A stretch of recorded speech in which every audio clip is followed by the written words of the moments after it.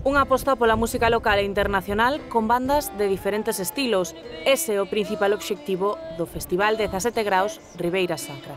Unha cita musical que dende o seu nacemento contou coa principal colaboración da Deputación de Lugo. Esta chega non é un gasto, senón un investimento para, para toda a provincia.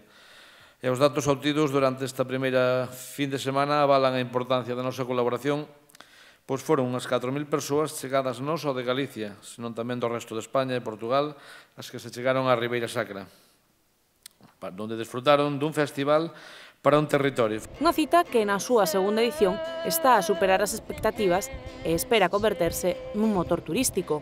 Falar dunha segunda edición eh, dun notable alto en valoración eh, sobre todo cando estamos traballando un festival tan complexo no que existen moitos escenarios, moitos espacios e é difícil eh, moitas veces cumplir os objetivos do público pois é para estar eh, moi, moi, moi contento.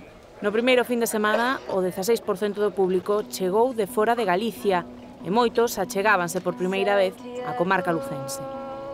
Un público moi importante eh, asistiu pola localización, por ser un festival que se celebra na Ribeira Sacra, en canto a que non é un modelo que se podería exportar a outro lugar, eh, por a súa originalidade, pola recomendación de amigos. Uns datos que se obtiveron de enquisas persoais e que se reflectiron na alta ocupación hoteleira, que en concellos como Monforte ou Sober estivo o 100%. Pero ademais, este festival dá traballo, Festival 17 graus Ribeira Sacra é ademais un motor xerador da riqueza, pois durante tan só tres días produciu un impacto económico superior aos 250.000 euros e xerou máis de 70 empregos de xeito directo, dos que 30 foron para veciños da Ribeira Sacra.